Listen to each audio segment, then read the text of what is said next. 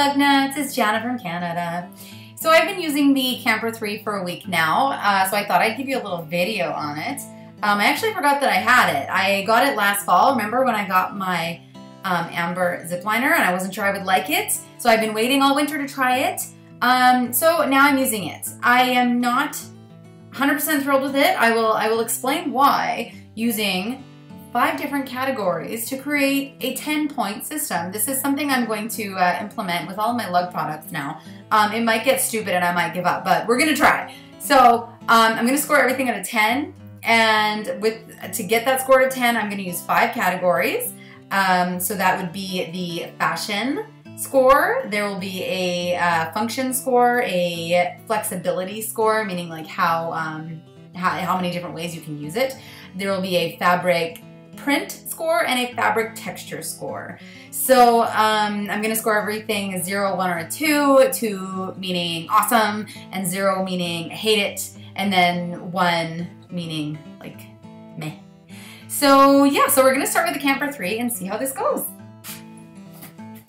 Okay, let's start with the fabric. So we've got the fabric texture and the fabric, the like the print and the color. So um, this fabric is the Shimmer Wine fabric, which in terms of color, I love it. I think it is so pretty and having that little um, that little shine in the sunlight there is uh, is just gorgeous to me. Especially when they add this quilting. Um, I know that doesn't count as a print, but to me it, brings, uh, you know, it makes it more interesting to look at. So I'm counting that as the print.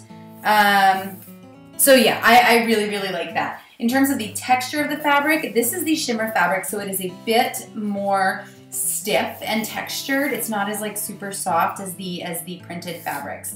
Now, because of that and because of the design of this bag, things like the strap or like this here, um, it's just it's just too stiff. It makes it really, really annoying. Um, and when I try to adjust adjust adjust the strap, it's it's so stiff that it's kind of I don't know, it's just a little bit awkward. Now, I have been using this for about a week, and uh, rumor has it that it will loosen up. Um, I don't know how long that takes. Hopefully, I don't know, it won't be much longer.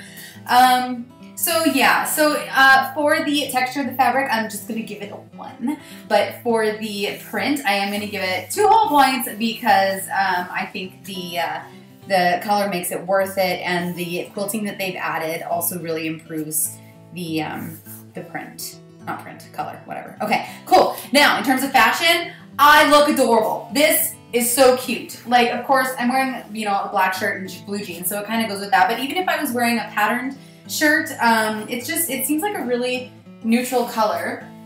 Um, and the bag itself, it's just, you know, I guess it's kind of a basic shape of the bag, but when you add that shimmer wine to it, it really, oh, I'm gonna quote Debbie, it makes it look elevated. Ah. Yeah, so I really like it. I feel really good when I wear this. I feel really fashionable and I feel like, you know, I'm getting um, stared at. That's not right. I shouldn't say that. I don't know.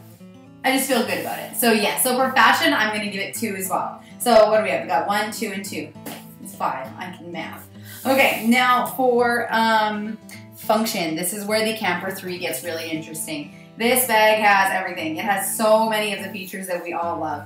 So first off, we've got the straps. So Amy uh, gave us this extra, extra long crossbody strap. So this is the bag as a shoulder bag. It sits, I don't know, what would you call that? That's my hip. Yep, right on the edge of my hip.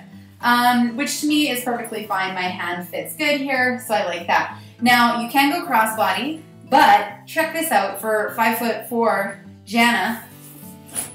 It can go crossbody um, without even having to adjust it. Now, yes, it's a little tight of a crossbody. It looks, it, it, it's a little silly looking, but it's not that bad. So like if I was in a pinch and I just needed it to go crossbody really quick, I could just throw it over myself no matter what the, um, what the strap was at. Now, if you are taller than five foot four or you have bigger bazongas than me, then you probably would prefer the um, extra crossbody strap. So we have done this before and Amy's done it and it, it is hilarious.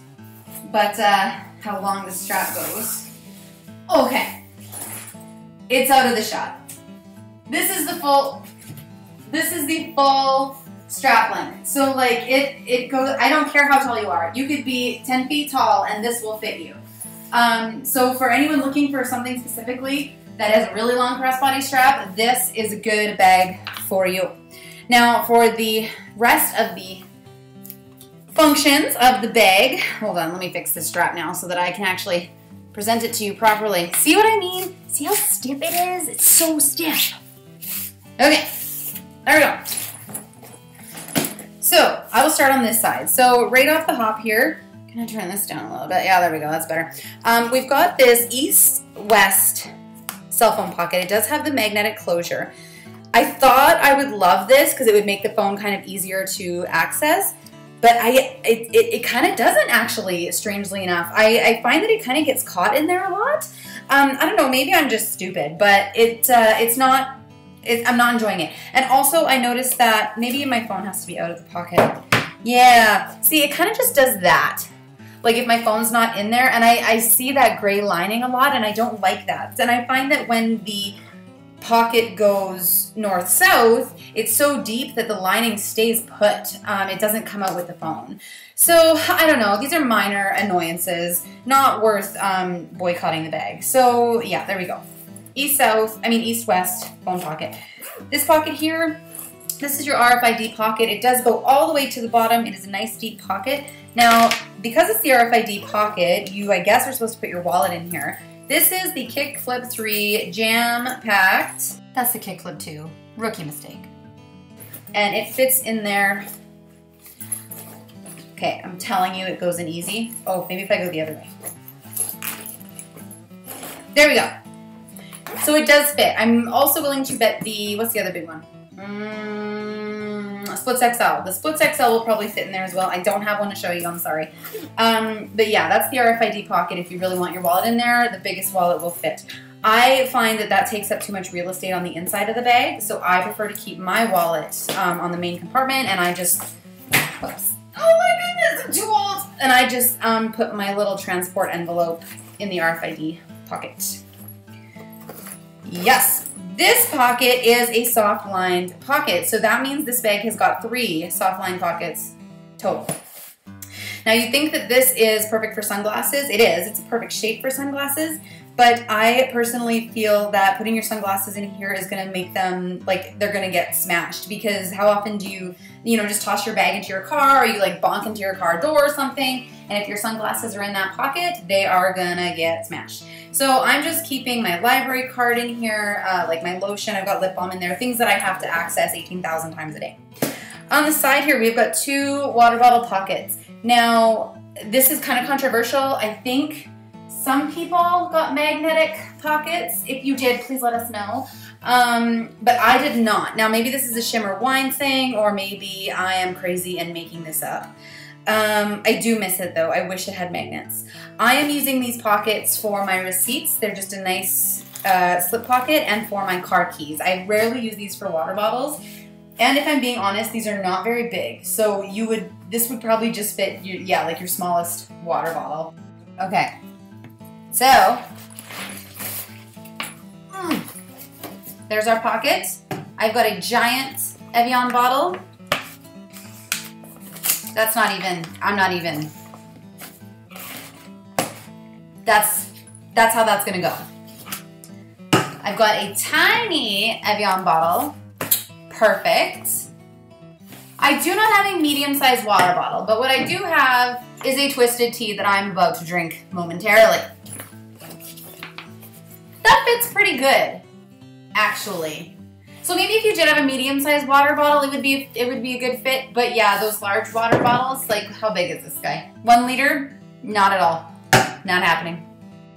We've got one more pocket here. Now this pocket has got a key bungee in it, which as you all know is useless to me but I love that it's out of the way. I love that it's not in the main compartment. When the key bungee is in the main compartment, it just gets in the way of everything.